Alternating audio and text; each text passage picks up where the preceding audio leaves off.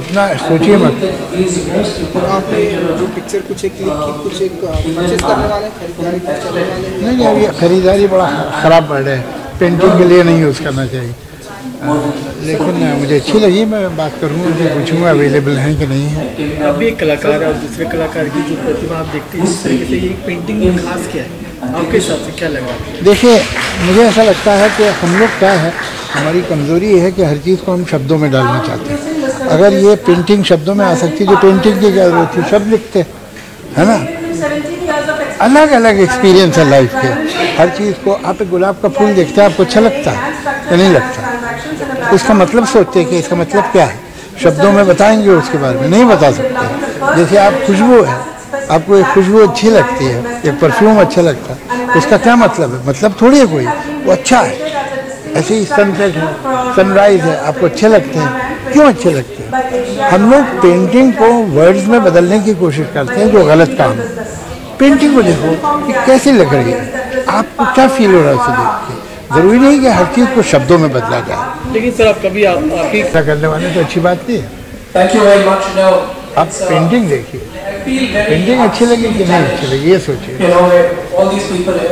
और उसमें मुझे है मतलब क्या मतलब है? मतलब पूछते हैं गुलाब के फूल का खुशबू का अच्छी म्यूज़िक का मतलब पूछते हैं नहीं पूछते ना। अब अच्छी लगती है। जिस दिन मैं सीधी लकीर क्षेत्रीय एक उस दिन मैं करूँगा बड़े कलाकार आर्टिस्ट मैं तो बहुत खुश हूँ यहाँ के मैं तो भोपाल के नाम से आ गया था लेकिन मुझे तो ऐसा लगा कि कितनी अकलमंदी की मैंने कि मैं आ गया। इतना अच्छा आर्ट देखने को मिला मुझे। सोच पता नहीं क्या होगा जो भी होगा यार भोपाल का है पेंटर तो जाना चाहिए। मगर वहाँ तो मेरी आँखें खुल गई। बहुत अच्छा। मैं बधाई देता हूँ मुबारकबाद देता हूँ साहब को. इतने अच्छे काम। तो देखेंगे हर चीज़ को नहीं बदलता जो राइटिंग की बात है वो राइटिंग की है जो म्यूज़िक की बात है एक अच्छा राग है। वो क्या है?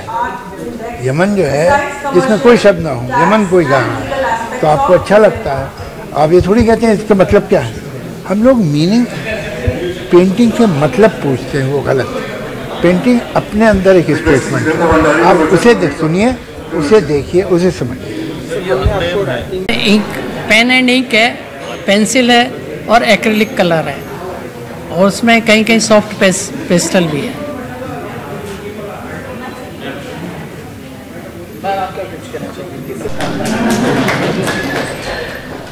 My name is Toshihiro Kaneko, uh, Chief Consul and the Deputy Consul General of the uh, Consulate General of Japan in Mumbai. Congratulations on the uh, inauguration of Mr. Suisuku Sark's uh, painting show, and I am honored to be present uh, tonight.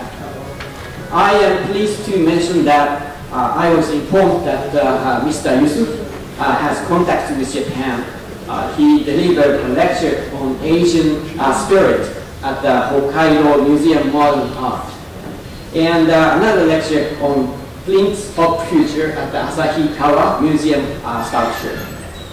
Art is a uh, very important medium for connecting people, and I am grateful for Mr. Yusuf because I believe that his art has incorporated his thoughts about Japan, uh, which I heard uh, that the Zen philosophy also a part of it about Japan conscious or unconsciously uh, conscious manner.